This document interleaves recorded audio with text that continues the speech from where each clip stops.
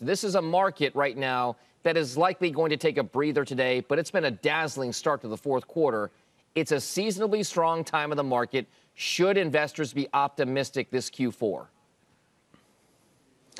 I think it's hard to be, quite honestly. I mean, you could certainly see a bear market rally here, just like we saw over the summer. Um, they're common. That's sort of the, the rule rather than the exception. But I'm trying to look at some things under the surface to give myself some clues as to whether the, the bottom is enduring. Uh, and certainly we've seen what appears to be like momentum uh, Monday, yesterday. But actually looking under the surface from a technical perspective, I'm a little bit concerned that we're not seeing that typical momentum spark we see off durable market lows. Uh, one example, the percentage of stocks in the S&P 500 making two standard deviation advances in any single day.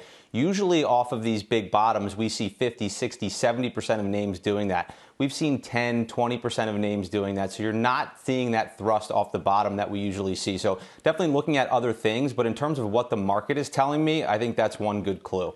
You know, it's interesting, Jay, that, that, that Jeff mentions that. Uh, there was a, an interesting tweet from Ryan Detrick, uh, you know, who watches the market a lot from a, a market technician standpoint, saying that the 5.7% start to Q4 2022 after two days is the best start to a new quarter since the second quarter of 1938. 1938, the best start to a Q4 here for the S&P. This is something now where investors are maybe grappling with this idea that there's more downside to come, but you can't ignore what just happened in the last two days, can you? No, although it's a, as you pointed out, it's a huge move in a couple days. We would, not to get too short-term oriented, think that we're going to be under a little bit of pressure over the next few days because think about all the data; it's all labor related, and we have a very, very strong labor market because we're coming out of a pandemic.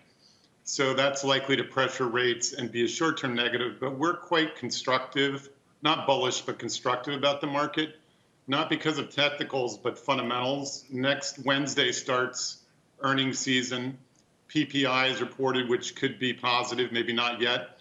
And then also, our bull thesis is that the Fed's ultra hawkish uh, policy is melting down Europe, which they're going to be slow to perceive. It's almost like their third mandate is to be behind the curve.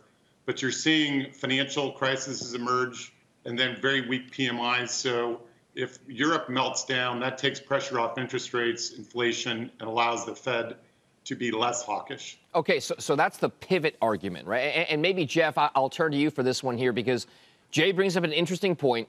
A, a, lot of folks I spoke to and a lot of folks out there are saying that, that the market rally, the, the pullback in interest rates is now kind of pricing in this so-called Fed pivot that they're going to be a little more dovish in the coming months, quarters, and years, that, the, that interest rates may not rise so quickly, that the terminal rate may not be as high as we thought it was going to be.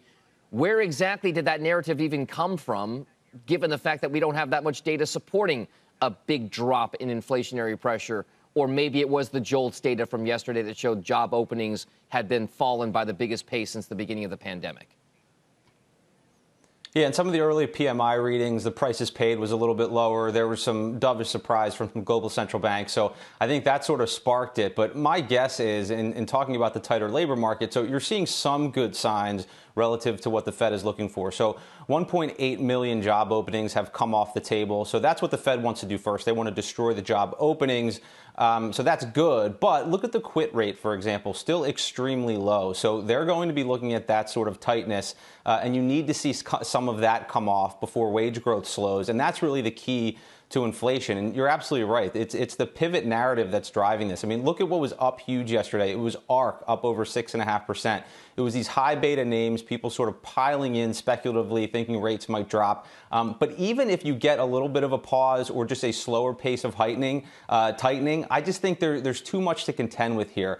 PMIs are still dropping. Uh, the Fed is still going to keep rates high for a while. And, and my guess is this sort of earnings growth slowdown that we've been speculating about, it's here now. It's not all bad, but Nike, Micron, Meta, CarMax, a lot of these companies talking about a reduction in earnings expectations. Uh, so I think we're actually going to be moving into kind of a proper earnings driven bear market. All right. So if that's the case, uh, Jay, what are some of the top picks that you have out there? Where, where, where is it attractive to be invested?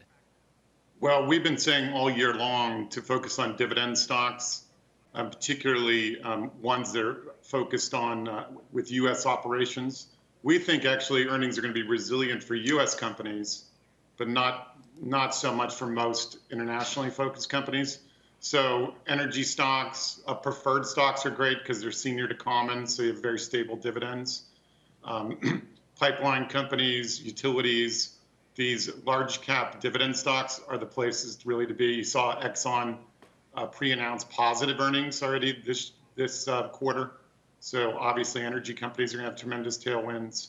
So those kind of old economy, non-tech, boring uh, companies that benefit from emerging from the pandemic.